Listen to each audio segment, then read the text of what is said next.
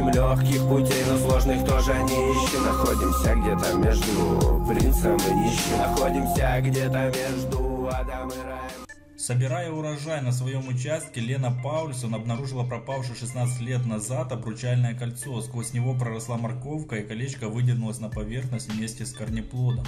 Стив вырос без матери и в течение многих лет пытался ее разыскать. Оказалось, при наведении справок он неправильно указал ее фамилию. Найти маму помог случай. Стив устроился работать в один из магазинов крупной сети супермаркетов и рассказал о своей проблеме начальнику. Тому фамилия разыскиваемой матери показалась знакомой. Как выяснилось, мать Стива работала в той же сети супермаркетов, что и сын, только в другом магазине. Покупая лотерейный билет, Вирджиния всегда выбирала номер билетов по одной и той же схеме. Цифры на них означали сколько лет ее родители провели в браке, а также их возраст на момент свадьбы. В 2012 году она нечаянно платила сразу два лотерейных билета с одинаковыми числами. В результате каждый принес ей выигрыш миллион долларов.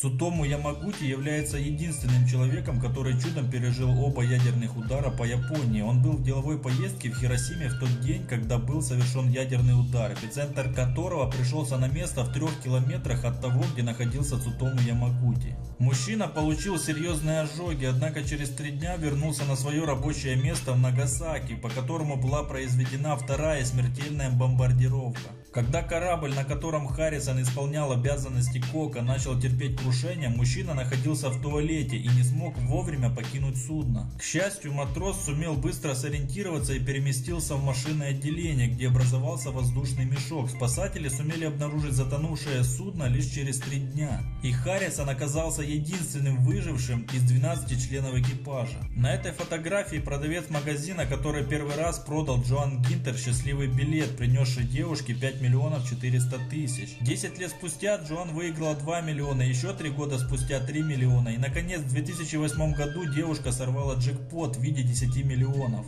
В 1971 году Джулиана Кёпке летала на самолете, который потерпел крушение над джунглями Амазонки. 17-летняя девушка выжила после падения лайнера, отделавшись переломом ключицы, многочисленными ссадинами и порезами. После аварии девушке пришлось еще несколько дней блуждать по джунглям среди диких животных, пока ее не спасли местные лесорубы. Джулиана единственная, кто выжил в той катастрофе.